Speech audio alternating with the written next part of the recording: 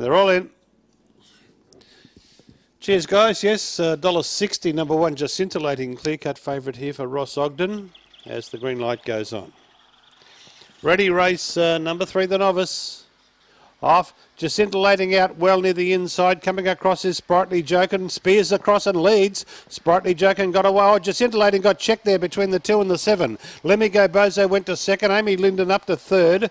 They were followed then by uh, further astern was Corporate Isaac with Beauty Rose High and also Masterful up the straight and charging down the outside. Amy Linden went home the better.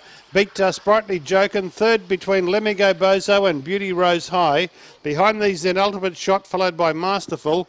Corporate Isaac and just scintillating. I don't think it's finished the course. Where is it, Hill? It's got, uh, must be around the back of the track there somewhere, just scintillating. Been picked up by the vet, I would think.